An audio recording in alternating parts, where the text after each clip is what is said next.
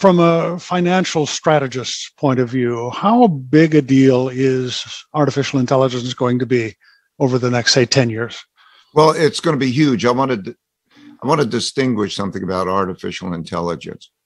Um, artificial intelligence, which really means uh, pretty much machine learning, um, is tremendously advantageous in raising productivity and doing things that are more mundane.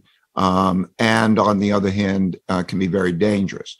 Um, it's um, if something is done over and over again repeatedly, and the computer can watch the patterns of that, and it, that could be anything from performing a surgery, it's done the same time way, so that the future um, will be like the past.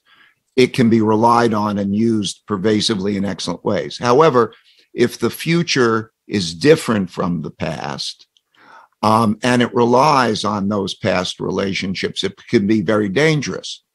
Um, because what one gets out of it, as Henry mentioned, is um, equations without the understanding of why those conclusions exist.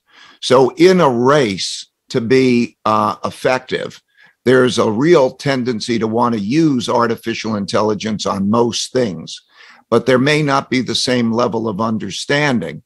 And so, if the future is different from the past in important ways, it can be very uh, threatening.